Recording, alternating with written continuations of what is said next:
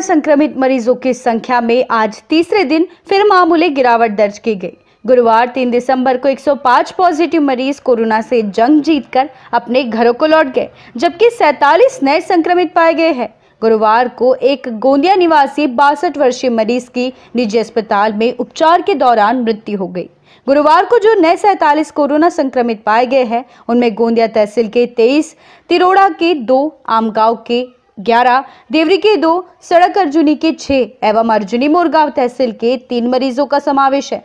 ज़िले में अब तक कुल मिलाकर बारह मरीज़ कोरोना संक्रमित पाए गए हैं जबकि इनमें से अब तक ग्यारह मरीज़ स्वस्थ होकर अपने घरों को लौट चुके हैं।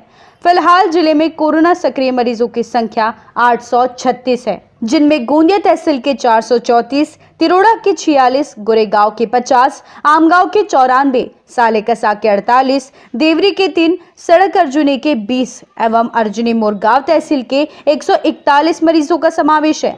836 कोरोना सक्रिय मरीजों में से पाँच मरीज़ अपने अपने घरों में ही आइसोलेशन में हैं। शेष मरीजों का उपचार अलग अलग अस्पतालों में चल रहा है। ज़िले में कोरोना से स्वस्थ होने वाले मरीजों का प्रतिशत इक्यानवे दशमलव तेरह एवं मृत्यु दर एक दशमलव उन्नीस प्रतिशत बताया जाता है। ज़िले में अब तक कोरोना से कुल एक सौ बासठ मरीजों की मौत दर्ज की गई है।